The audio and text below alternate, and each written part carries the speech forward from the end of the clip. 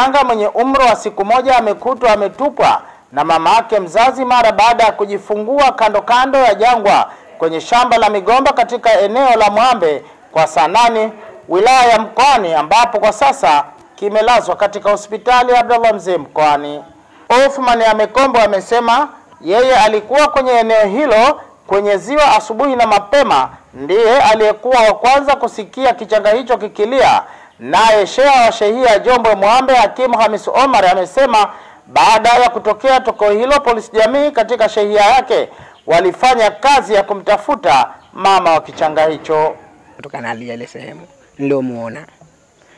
Baada ya kusikia mtoto kanalia, nikashogelea ile sehemu nikatafuta, nikamuona mtoto kalala.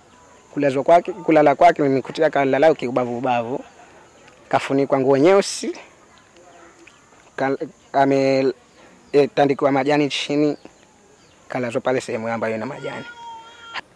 Wakatoka wakafatilia, wakenda wakamuuliza mwenyewe.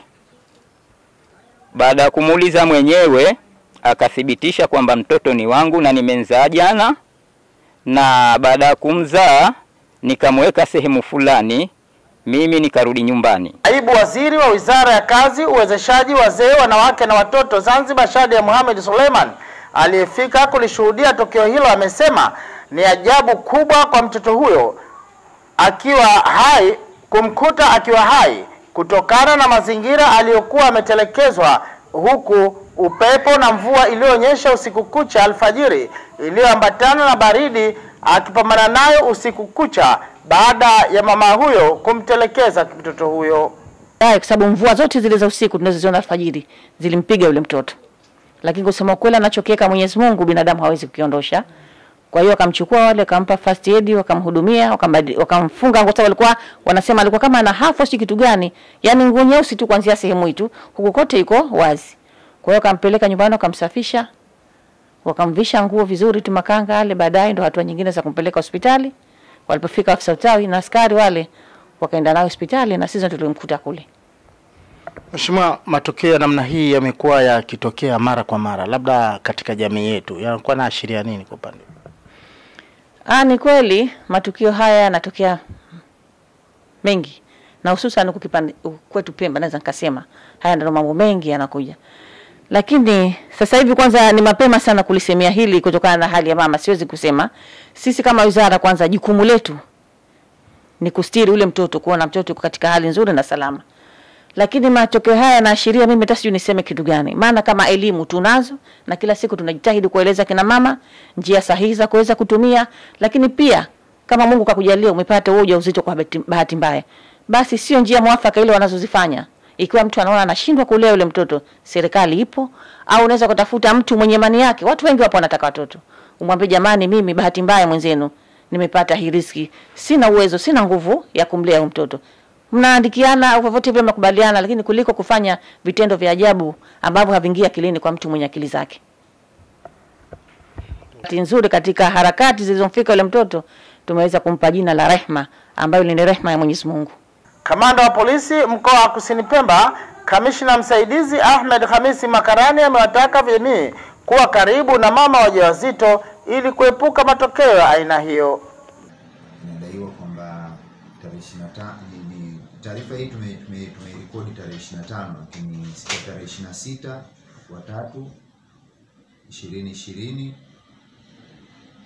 aliokotwa huyu mtoto akiwa yuhai, mtoto mchanga akiwa yuhai. Tukafungua taarifa, tukafanya upelelezi na baadaye tukabaini kwamba huyu mtoto alizaliwa na huyu Tatu Abdalla Juma na baada ya kumzaa alikwenda kumtupa. E, kwa sasa huyu Bitatu yuko katika hospitali ya Abdallah Mzee mkoani hapa Kusini Pemba, na kuna kuna ukweli au angalau still under investigation kwamba huyu huyu dada ni mgonjwa wa akili. Kuna ukweli kwa sababu kuna vitu ukiona tu wala uhitaji upelelezi mkubwa. Kwa hiyo kuna vyeti ametuletea na kila kitu kwamba ni mgonjwa wa akili, lakini pamoja na yote sisi tunaendelea na utaratibu wetu wa kawaida, kufungua mashtaka na kupeleka kwa mkurugenzi na hatimaye haki itendeke katika hiyo. mpaka. Labda kamanda, kwa kwa kwa haraka haraka, labda upelelezi wenu mliwezaje labda ku, ku, kugundua kwa haraka haraka hivi kujua kwamba ni mwanamke yeye, kati katika kijiji hichi cha Mwambe kuna wanawake wengi? Unajua unajua kawaida jambo kama hilo linapotokea linakuwa na si jambo dogo, linakuwa na linakuwa na mshindo eh, kwa ule mshindo ndio ulipelekea sie kujua kwamba huyu mtoto ni wa fulani, lakini tayari ule mtu anakuwa mjauzito, ujauzito unaubeba, unaishi nao muda mrefu, karibu miezi tisa, watoto wanakuona, alafu ghafla ujauzito haupo. Nadhani haikuwa kazi kubwa sana kujua kwamba huyu hichi kichanga ni cha nani, Kamanda, inasadikiwa kwamba matokeo ya namna hii yamekuwa yakitokea hapa kisiwani Pemba na pengine hata mkoani mkoani kwako, kwa sababu inakumbukwa hivi karibuni tu eneo la Pujini pia tukio kama hili limetokea. Labda unawaambia nini wananchi wa mkoa wa Kusini? Mm, nadhani eh, ushauri zaidi ni wa wale watu ambao wanamzunguka huyu mama, ndio ambao ningependa ni washauri kama kama ndugu, jamaa, wazazi wa victim wa, wa huyu mama ambaye ni mjamzito, basi ni vizuri kama na mume, ni vizuri katika kile kipindi cha mjamzito cha ujauzito ku- kuwa naye karibu kumsaidia kwa namna yoyote ile, kwa sababu kwa vyovyote vile, kama si mgonjwa wa akili, kwa vyovyote vile anaweza kuwa amepatwa na aina fulani ya mtindio wa akili ya kupelekea. Kwa hiyo kama ana watu wa karibu wa kuongea naye, kuona kwamba wanamjali, basi sitegemei kwamba